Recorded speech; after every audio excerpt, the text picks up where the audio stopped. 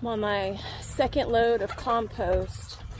I've been mixing a lot of soil up because we are expanding our garden some more. I spent yesterday doing this as well for our okra bed, which we just got completed. But this is going to be for our roselle. Yesterday I put a bunch of feed bags down and got, I want to say it was probably four different loads of soil mixture and when Sid got home last night he was able to get these okra planted in and coming this way I get distracted at this beautiful flower. That's a pretty zinnia.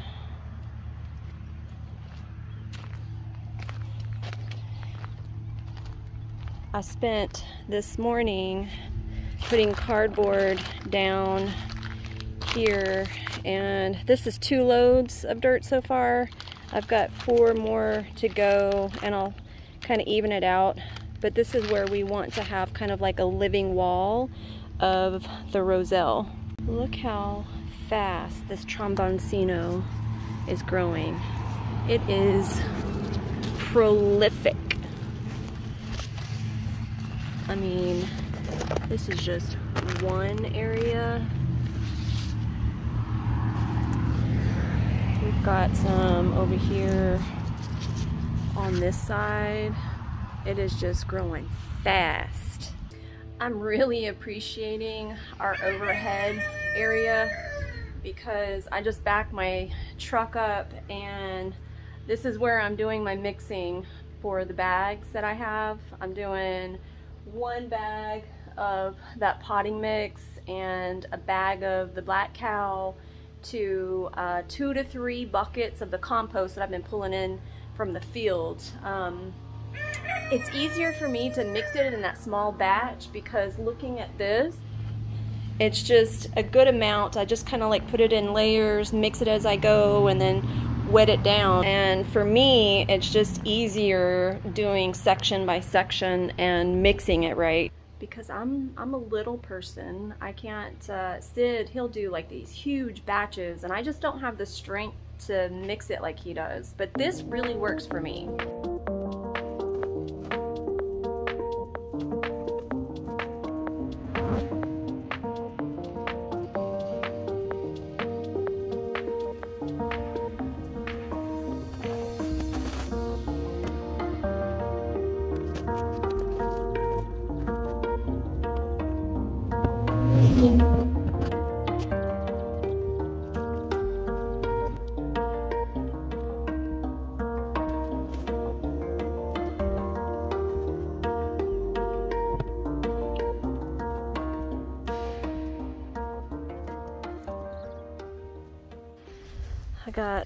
One more load to go, so I'll finish off here and then just put it sparingly just to thicken up this layer because it's just about all the way to the end. So I'll just be filling some low spots with that load. You guys aren't supposed to be over here. And y'all know it. Go on. Uh-uh. Go. I don't like them over here on this walkway. They just poop. They know better. Our wild ducks, those three stooges I'm calling them, um, have been trying to mate with them and so they've been scared of them. So that's part of my drama. Keeping these three stooges away those guys aren't doing their job keeping them away. Little stinkers. I just saw them doing that in the wrong spot because I'm headed out to get my last two buckets of compost. This is day three of our Top Gun crew free ranging and they've been doing really really well. They like to stay relatively close to wherever I am when I'm outside. We've got some whistling ducks that have decided to hang out with our group. Um, I've seen them off and on over the past few weeks. But I've also been seeing these snakes. but those whistling ducks, they're pretty cool looking with that orange beak. They just pop in sporadically and they seem to get along with the geese and our crew.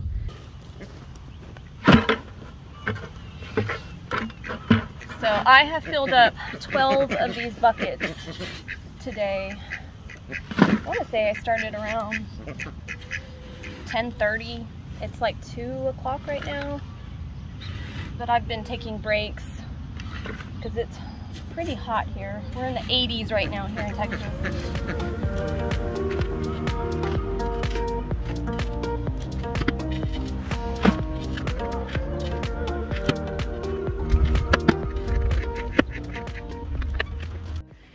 What's up, babies? Every time I come over here, they want to visit. They think I need to give them something. Little beggars.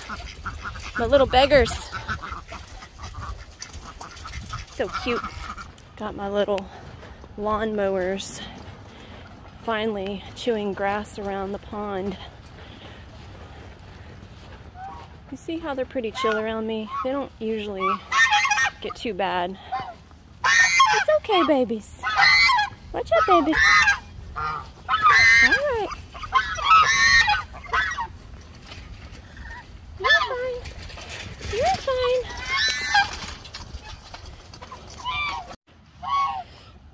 That little baby is nine weeks old. That's the only one I've hatched and raised out here. Y'all being nosy? Y'all being nosy? Mm -hmm.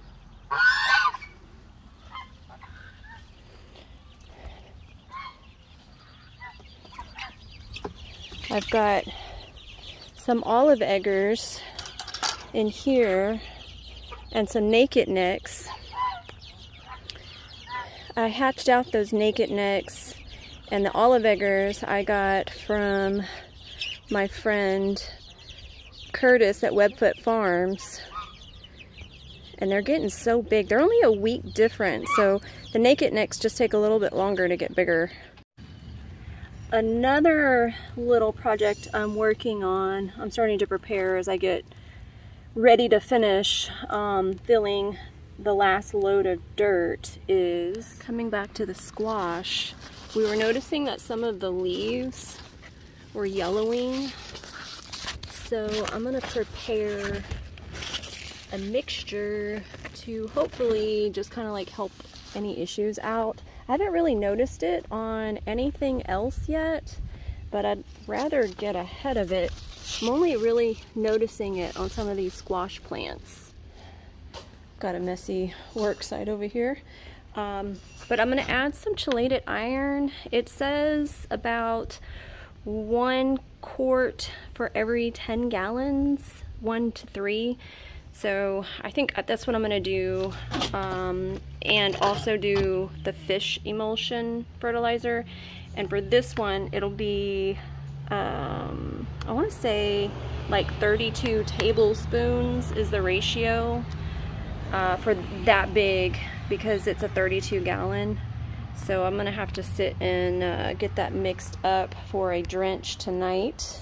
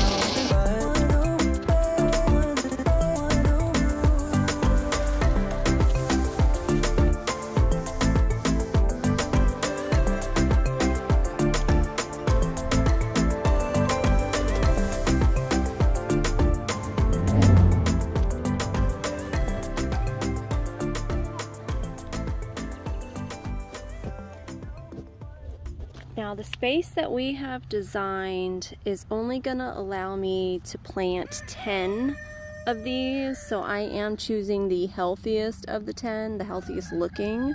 In the space that we're gonna be planting this, it's about a 30 foot bed the minimum amount of feet that you want to have in between them is between three to five feet. So I'm going to cram as many as I can into the space. So I'm going to put 10 plants in the 30 foot space. And my objective is to have a bit of a dense wall.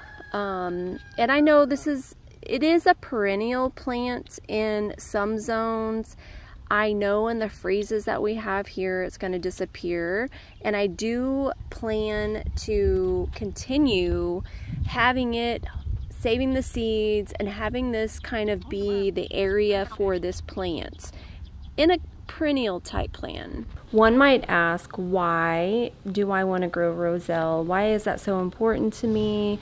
For some, the term hibiscus is more familiar Jamaican roselle is another familiar term, but roselle is a plant commonly grown for its edible calyx, which are used to make herbal jams and jellies, sauces, and, and much more. There are several reasons why someone would choose to grow it. There's culinary uses, medicinal benefits, ornamental, and because it is it is a beautiful plant it's exotic looking. When I grew it for the first time last year, many people would stop and ask, like, what is that? Because it's so pretty. It's sustainable agriculture because it's relatively low maintenance and it doesn't require a lot of water. And we're in Texas, so this is a great plant for us to actually grow feels good to actually get all of those into the ground because I was a little stressed. I did up pot them. I wanted to secure the health of those plants. Last year, the roselle, hibiscus, however you want to call it, it brought me joy learning uh, about them and the entire process of preserving them. And so that's something I really want to do this year. All I have left is to go ahead and fertilize, put uh, that mix that I prepared earlier onto the garden and water. I'm not going to do a heavy water because we are supposed to have a rainy weekend. So I kind of just want to do the um, fertilizer, a light watering, and then I'm going to just call it done after that. I recently did a worm casting update video about how it did benefit our garden. And then this is just going to be an extra boost that I'm going to be doing now. I'll put that video off to the side and in the show notes below. Until the next time, thanks for joining me.